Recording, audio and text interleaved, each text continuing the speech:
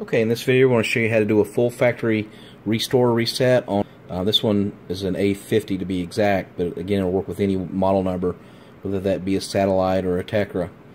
Uh, this one's got Windows 8, but it'll work with Windows 10, Windows 7, and even XP and Vista. So what you're going to do is you're going to turn it on, power it on, and you want to make sure you have it plugged in. And when you power it on, you're going to tap or hold down the zero button, the zero button here, as you're turning it on. So I'm holding down the zero.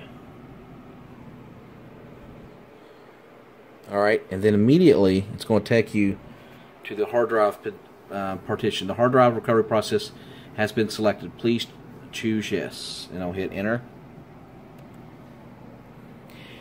And of course you want to want to do this to get it back to factory state, you know, how it came out of the box. Again, it's going to wipe out all your videos, all your pictures, and just give you with the raw operating system that was originally put on it. So, if you have pictures or videos, you'll want to get that off first. Um, if you can't do it, hopefully you have a recovery image, or um, well, you'll have to get your hard drive repaired, which is not easy.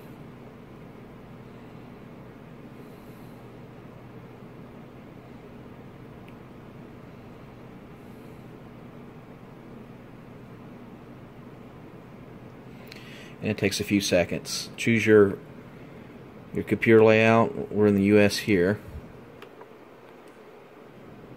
And it gives you some options here. Now you can um, that's if use this device as if you already did do a recovery image when you created or when you first got the computer.